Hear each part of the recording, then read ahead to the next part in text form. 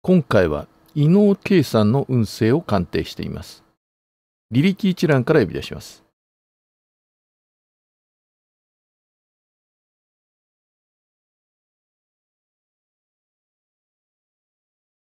2023年7月、中心性偏在、年運欠陥は生還です。まず、運を見る前に、伊能さんの命を見てみます。命を見ると、四子通変がすべて合罪、十二運もすべて帝王、おまけに年中、月中、日中に用心があります。合罪が多いので、かなりわがままな面や自己中心的な面が出てくるかもしれません。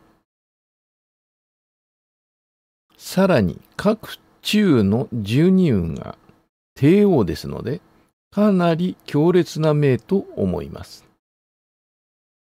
しかも各中に吉凶星、用心があるので、金銭トラブルなどの暗示も強くなります。しかし、大運通変生還は合罪を無情に告すので、少しはこの合罪の暗示が緩和されると思います。理屈はいろいろあるかもしれませんが、同じ通変性が3つ以上、用心中が多いなどは、名詞の見た目の第一印象でちょっと引いてしまう命であることは確かです。年運のタブをタップします。年運結果運、生還、運勢ランク BB、変わったことに縁を持ち、基地となる年。年の後半になるので、途中経過運は省きます。この年は今までと同じことをだけを考えていると、失敗したりトラブルに巻き込まれることになります。何か新しいことや趣味をする、海外に縁を持つなどで基地となります。名式表に戻って鑑定日を2024年2月にしてみます。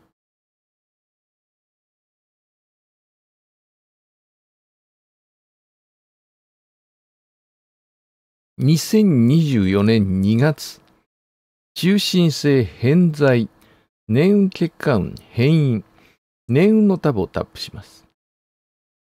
年運結果運変因、運勢ランク C、衝突を避ける生き方をする年。途中経過運、被験、運勢ランク B、生まれ変わるタイミングの年。前半の途中経過運は、これまでの自分とは違う生き方をすることになります。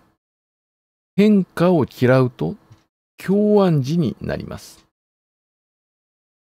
後半の年運結果運は、衝突、トラブルの運で、目上やパートナーと対立する可能性があります。名詞に戻って、吉凶星を見ると、年運に血人、収獄があります。この年は、病気、怪我、事故にも要注意です。六馬寄進、公演があるので、評価運、人気運が上がることになります。伊能さんは2024年の前半に何か動きがあるかもしれません。しかし、吉凶星に血人、収獄があるので、病気、怪我、事故にも要注意です。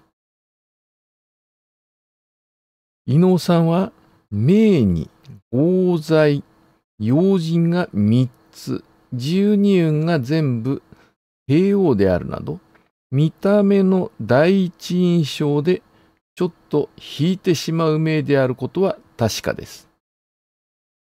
中心性四柱推命はノートで無料の講習を公開しているので、よろしければ概要欄のリンクからご覧ください。